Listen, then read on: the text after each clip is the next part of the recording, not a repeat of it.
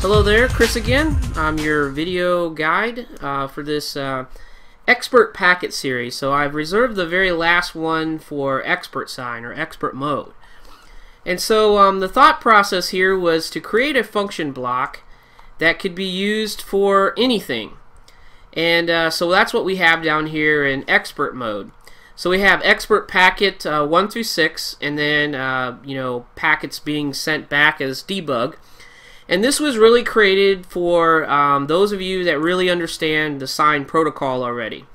So before we've showed you all of this, what you would have had to have done before is what you would have had to have uh, downloaded the MCS protocol. This is the manual.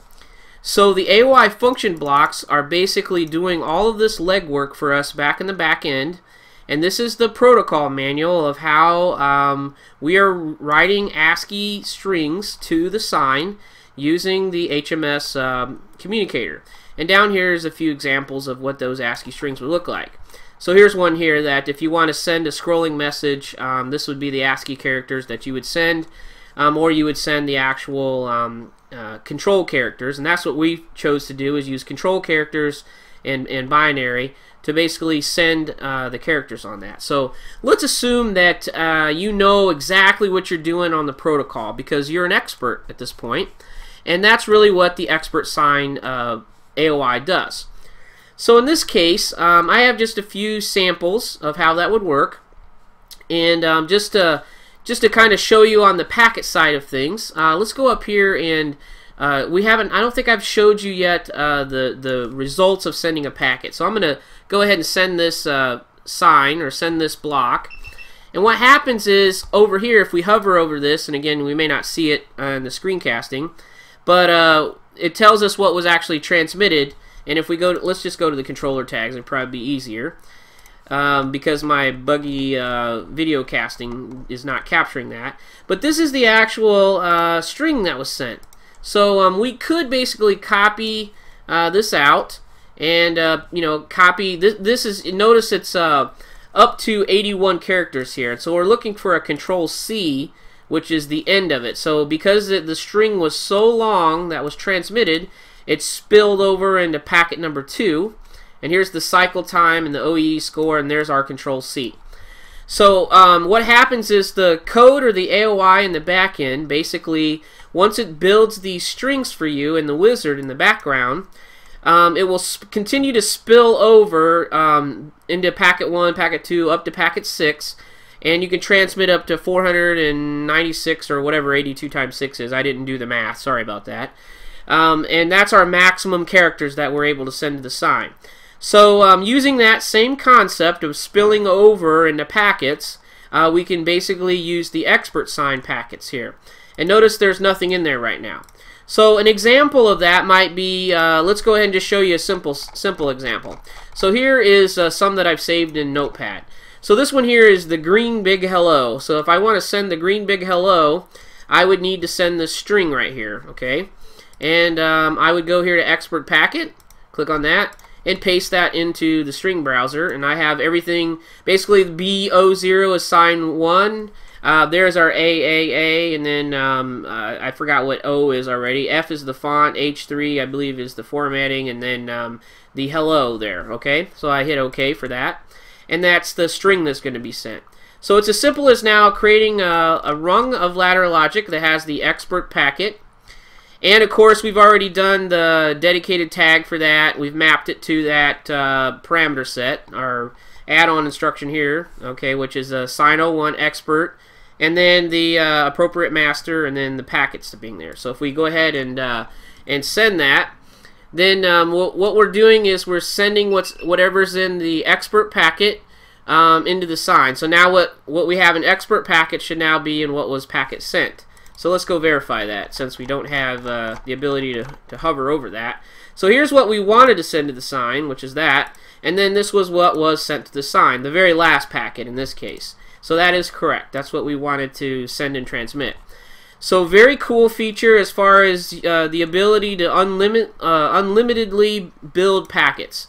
So what would be a case for that? Let's say that you want to send a time string.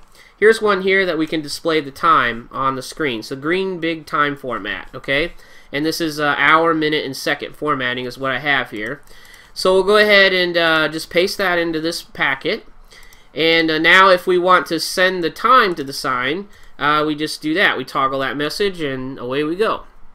So now we have the current time, which is uh, 641, and uh, well, I didn't put the, the filler in there for the decimal place, but we got the 08, oh, and that's just a formatting thing in the protocol. Um, I can have it fill zeros or not fill zeros. But the, the point of the matter here is that we're able to basically throw anything we want at the sign.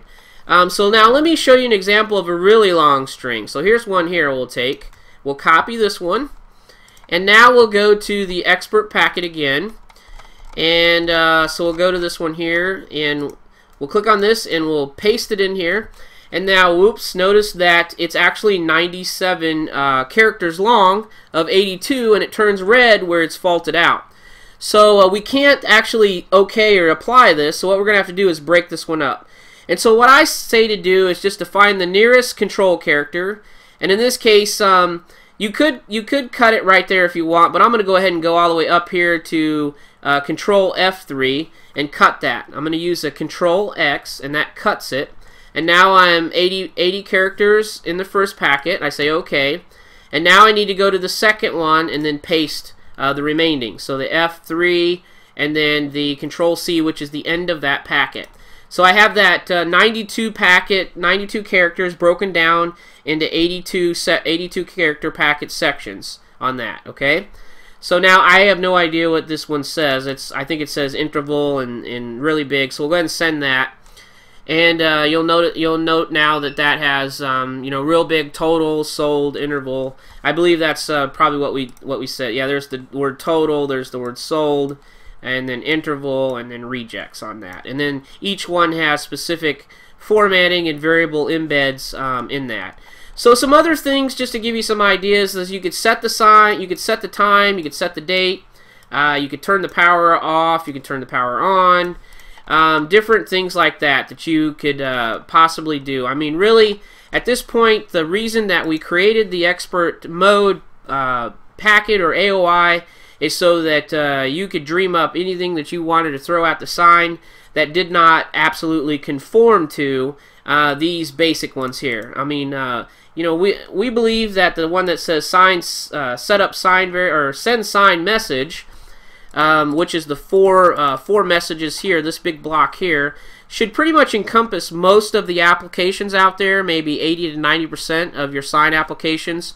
But if you run into that one special thing that you want to do, and uh, and the blocks don't want to handle it the way that you want to handle it, um, then that's what we made the expert sign block for for you to utilize and use. Um, that way, you could basically uh, format it by looking at the protocol yourself and uh, coming up with your own formatting and sending that uh, to the sign. Now, I will give you one bit of warning um, in the protocol as sort of a closing statement.